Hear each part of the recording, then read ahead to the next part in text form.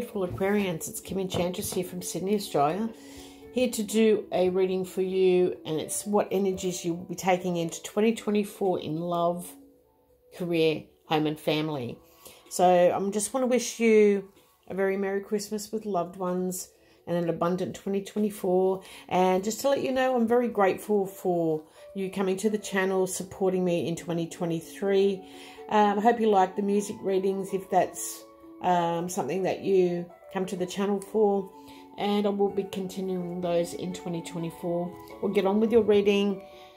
Here, Aquarius, now in love. We've got the Eight of Summer, which is the Eight of Cups in the Animal Tarot. And we have the Kangaroo. So it's saying you feel that there's more to life than what you're living. Time to move on. You may be moving from a situation that isn't good for you. Or perhaps you're just being drawn to well, it's going to make you happy. Either way, you're in control. So, you know, uh, the Eight of Cups is not really a great omen in a love relationship. It's representing an abandonment or abandonment issues. Now, if you are in a relationship, it can signify either you or your partner walking away from this relationship. It can represent leaving a bad relationship. Now, the advice here for you, Aquarius, is you are being advised to let go of something that no longer serving you. You are being encouraged to take a step back and reevaluate your situation to determine what is best for you, okay? Now, we have the Lenormand woman here, and this is a woman that is very important to you if this is not you here, Aquarius. Okay, so you could be the woman that's leaving or you're leaving a woman. Now we'll go on to your career and it's the Ten of Summer or Ten of Cups. It's a prairie dog and it's saying it's time to express your love and appreciation for family, be it relatives, chosen family, close friends. Congratulations may be in order in a happy, fulfilling marriage as well as raising happy balanced children. So the 10 of summer in career matters is saying things are looking good at work. You know, your collaborations with your teammates will be seamless and you're definitely getting along well with everyone in your workplace. You've got the rainbow in the background, so things are really going good. Now, here's some advice for you the Ten of Cups represents finding the perfect fit in your career, where you feel fulfilled, where you feel valued, where you feel supported. Your work will become a source of happiness and joy, and you'll feel like you're making a positive impact there. This card is here to remind you to reassess your career goals and your priorities and to make a plan for achieving them. Okay, now you've got the Lenormand Tower so this could represent uh, an independent business. It can represent that you're a CEO in a company, you work for government.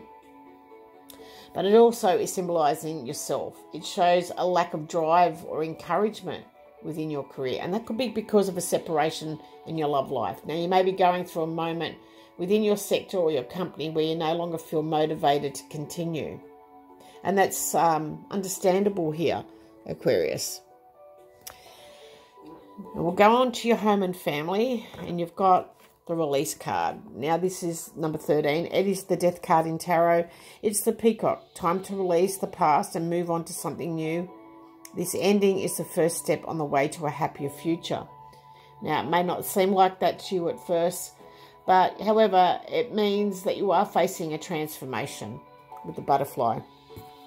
Uh, you know, in your home life what transformation will it be? Uh, is it going to be you finding a new home soon and a fresh lease of life somewhere brand new, or are you feeling stuck right now? Okay, like the kangaroo, the Eight of Cups here, moving on because things don't seem like they're good enough. So, you know, you may be feeling stuck, and this card is telling you that you will get a new start soon. Now, the advice here Death teaches you to let go of outworn and outgrown ways of life, to move forward. And this is a perfect card to break a bad habit or a pattern or or a behavior. You've got to see this as a time to cut out excess and let go of what is unnecessary for your life. Just purge the old belongings, memories, and baggage that are getting in your way. This is spirit coming in, something pure. Spirit has something better for you. Now we have the Lenormand Crossroads, number 22, and you know, there could be conflict between safety and traditional living grants, could be problems with the home and wanting to be free to do things in your own way. But, you know, it's all about alternatives to traditions and habits, and this is what you've got to break. Okay, um, optional rules. You've got plan B and plan C. You've got decisions concerning your home and family life. Family support in the time of the um, indecision. So you're a bit hesitant here. So, you know, you definitely, there's a separation from a woman and you are facing a decision or a woman's facing this decision. There is a separation or a period of isolation here for you guys. Now, 2024 is full of possibilities for you.